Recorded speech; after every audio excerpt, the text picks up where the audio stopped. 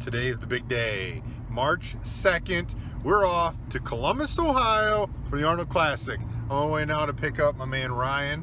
Uh, I feel like I just did this not too long ago, and it's literally been a year already. It's crazy. Um, so I'm gonna pick him up. We're gonna go up to Matt's. We're gonna hop in the car. This is the earliest we've ever left the Arnold. We usually leave like late at night, around 9, between 9 and 11 o'clock. But we got a room for an extra night. Kind of make it like so we weren't as tired when we got there. We're, you know, Fridays to me, Friday's the biggest day there. It's not as crowded. It's a little easier to get through lines. Still crowded, but a little easier to get through lines. So that's um, um, the plan. Don't worry about my chin here. I got a little, fucking ass kicked shaving today. All right, let's go pick up this crazy bastard.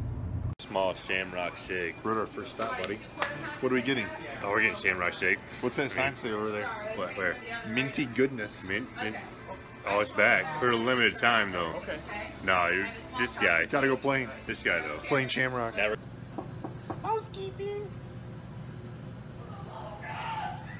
I fluff your pillow. What kind of hotel is this?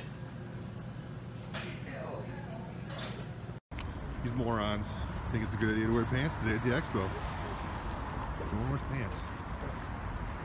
Body by you. Body by you. Why don't you tell the world about this bullshit? Dad, fuck, who wears leg prisons to a fucking fitness expo? It's called leg prisons. They're leg prisons. You can't walk in them, you can't move in them. Look at, look at, peg leg.